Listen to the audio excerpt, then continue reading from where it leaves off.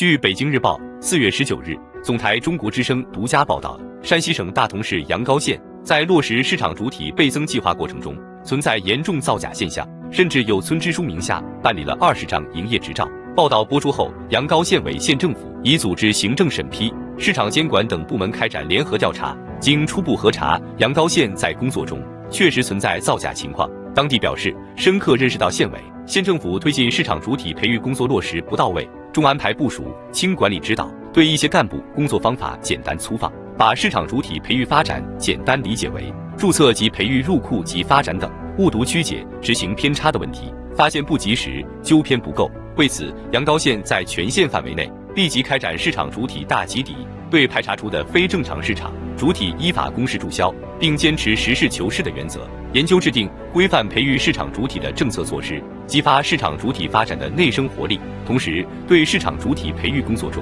出现的弄虚作假现象继续深入调查，并以此为戒，在全县各领域组织开展警示教育，举一反三进行规范整治，坚决杜绝类似问题再次发生。此前消息，一位基层干部称，一开始这些政策的确为希望注册经营主体的村民提供了便利，但每个月都分配任务，还指定具体数字。压力都在基层工作人员身上。一位村支书名下注册了二十三家市场主体，只有三家是二零二二年前实际运营的合作社。